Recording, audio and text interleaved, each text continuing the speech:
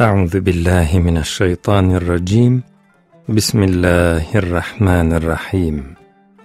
الحمد لله رب العالمين والصلاة والسلام على رسولنا محمد الأمين. ربنا آتنا من لدنك رحمة وهيئ لنا من أمرنا رشدا. Diyanet radyolarının değerli dinleyicileri, İmam Nebevi'nin Riyazu Salihin adlı eserinden hadisler okumaya devam ediyoruz. Bulunduğumuz kısım Müslümanlar arası hukuk. Sıradaki hadisimiz 223 nolu hadis. Ve an Ebi Hurayrata Hazreti Ebu Hureyre'den gelen bir rivayet radıyallahu anhu. Allah Azze ve Celle kendisinden razı olsun. Kale dedi ki Kabbelen nebiyyü sallallahu aleyhi ve selleme el Peygamber sallallahu aleyhi ve sellem Hazreti Hasan'ı öptü. El Hasan ibn Ali'in yani Hazreti Ali'nin oğlu Hazreti Hasan'ı, torununu Allah'ın Resulü öpmüş. Radıyallahu anhuma Allah Azze ve Celle her ikisinden yani hem oğlu Hazreti Hasan'dan hem babası Hazreti Ali'den razı olsun. Peygamber sallallahu aleyhi ve sellemin torunu Hazreti Hasan'ı öptüğü bu ortamda وَعِنْدَهُ الْاَقْرَعُ بْنُ حَابِسٍ Ekra bin Habis adında bir zat da vardı. Bu zat Hazreti Peygamber'in küçücük Sabi'yi yani torununu öptüğünü görünce garipsedi. فَقَالَ الْاَقْرَعُ Ekra dedi ki اِنَّ لِي عَشَرَةً مِنَ الْوَلَدِ Benim böyle on tane çocuğum var. مَا قَبَّلْتُ مِنْهُمْ أَحَدًا Onlardan hiçbirini öpmüş değilim. Yani bende böyle on tane var, daha bir tanesini öpmüşlüğüm yok. Seni gördüm, böyle küçük çocuğu öpüyorsun diye yadırgamış. Cahiliye öyle bir şey ki, eğer imanın yani Cenab-ı Hakk'a duyulan o takdirin, o saygının, o bağlanmanın ve dolayısıyla da o sevginin eğer temeli kalpte atılmaz ise, dolayısıyla Allahsız kalplerden söz ediyoruz. Oradan kasvet neşet eder. O kişinin amellerinde, davranışlarında rigidlik görürsün, kaskatı ve gitgide hatta bunu yüceltebilir. Bununla kendi erkekliğini, kendi büyüklüğünü, kendi saygınlığını ve karizmasını ifade edebilir. Nasıl bir büyüklükse, nasıl bir karizma, nasıl bir sözüm ona saygınlık ise kendisini merhametten yoksun bıraktıkça değerli sayıyor. İşte cahiliye böyle bir karanlıktır. Şeytan cahiliye sürecinde insanları o kadar vahşileştirir ki kendi öz yavrusuna merhamet edemeyecek hale getirir. Kimi töre ve örf anlayışlarının böylesi yaklaşımlara dinden uzaklaştıkça nasıl evrildiğine tanık olabilirsiniz. Kişi en doğal yanıyla yavrusuna duyacağı şefkati ve muhabbeti bile yaşayamaz, bunu insan önünde gösteremez hale gelir. İşte Allah'ın Resulü sallallahu aleyhi ve sellemin bu anlamda merhametin çekildiği ve insanların kas katı kesildiği o coğrafyada cahiliyenin o kapkaranlık ortamında herkesin karizmasıyla yürüdüğü ve insanlar ne der diye buna taptığı bir ortamda kızı olmuş deyince bile varıp onu katledesiye, ortadan kaldırıncaya kadar utanca boğulan bir zifiri karanlıktan söz ediyoruz. Buradan doğmuş bulunan İslam'ın aydınlığı, Cenab-ı Hakk'a duyulan sevgiyle başladığı yerden filiz verip her tarafa saçıldı. Çocuklar da bundan paylarına düşeni fazlasıyla aldılar.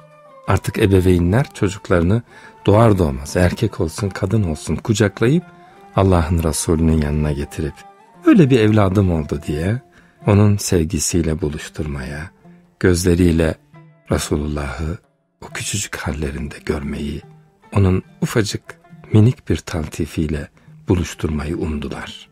Dünkü karanlıktan bugünkü aydınlığa geldiler.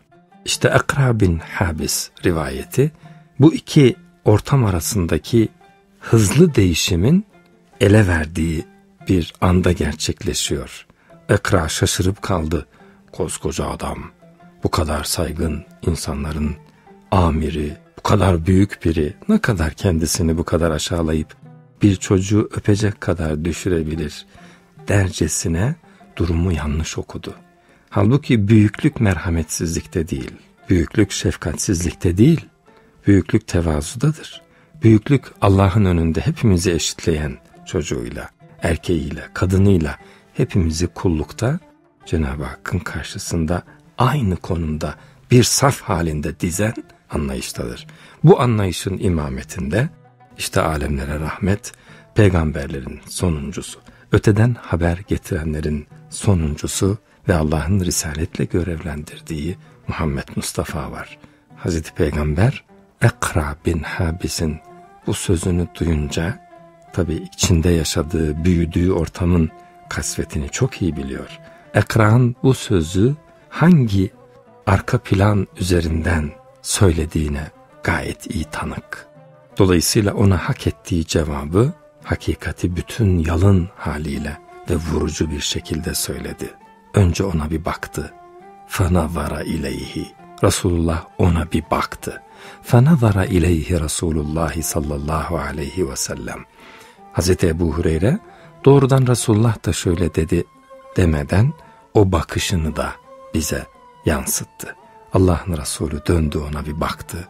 Bu bakışın içerisinde onun o merhametsiz, o yetişme tarzı içerisinde geldiği ve kendi öz yavrusuna şefkat göstermeyi bir düşüklük saydığı acınası hali gözler önüne seren bir bakış. Fenavvara ileyhi ona şöyle bir baktı. Allah'ın Resulü sallallahu aleyhi ve sellem fekale sonra dedi ki önce bir baktı sonra dedi bu bakış gözlerimizin önüne gelen bir bakış. Ona merhamet dileyen ve onun bu merhametten yoksun halini acınası gözlerle yoklayan bir bakış. Fekale Resulullah sallallahu aleyhi ve sellem Allah'ın Resulü sallallahu aleyhi ve sellem dedi ki Men la yerham bir kimse merhamet etmeyi bilmezse la yurham ona merhamet edilmez. Sen daha kendi yavruna merhamet etmekten uzak durursan Allah'ın rahmetini nasıl umacaksın? Sen merhamet etmeyi etrafına, onlara kol kanat gererek, esirgeyerek ve özellikle zayıf ve çare, yeni doğmuş sabiler, masum çocuklar, bunlardan esirgersen, Cenab-ı Hakk'ın sana rahmet etmesini hangi yüzle beklersin? Men la yerham, la yurham. Nebevi öğretinin temel ilkelerinden bir tanesi.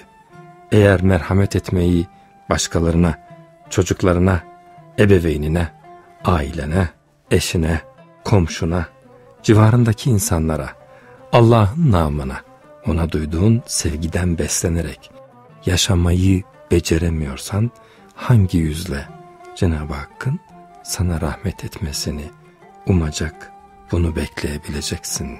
Öyle bir üç kelimelik ifade ki içinde koca bir hayata dair yol haritası var. Okuduğumuz bu rivayeti hem İmam Buhari sahihine almış hem İmam Müslim sahihine almış. Dolayısıyla muttefakun aleyh bir rivayet. Diyanet Radyoları'nın değerli dinleyicileri, bugün de bize ayrılan sürenin sonuna geldik. Bir sonraki hadis sohbeti programında buluşmak dileğiyle Allah'a emanet olunuz efendim.